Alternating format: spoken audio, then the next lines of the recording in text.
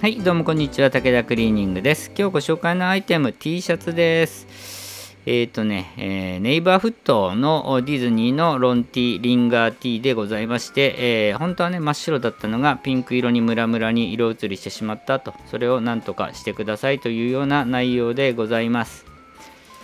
あの、前回の動画でね、仕事中、集中している時に、トイレ行きたくなる、そのトイレ行くのめんどくさいなんて話をしましたけど、そんな風にね、思ったことないよって方の人が多いでしょうね。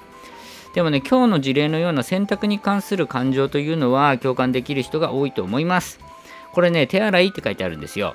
それ単品洗いってことでしょ？と、それは面倒だな、やりたくないなって思いますよね。だからもう洗濯機で洗っちゃえと。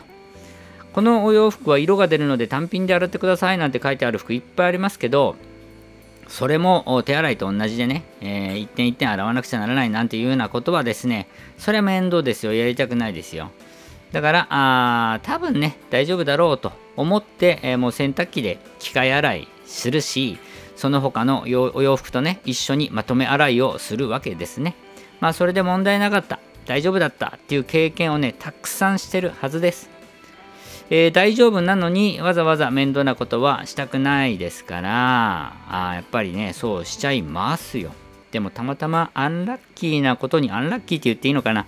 まあ色移りしてしまったともう着られない状態になっちゃったと。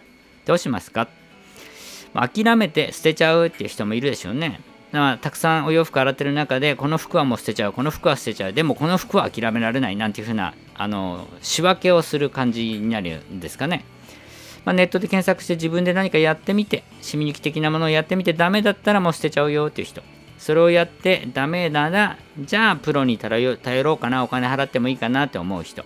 もう最初からねもう絶対復活させてほしいんだというようなことで最初からプロに頼ろうと思う人。まあいろいろね。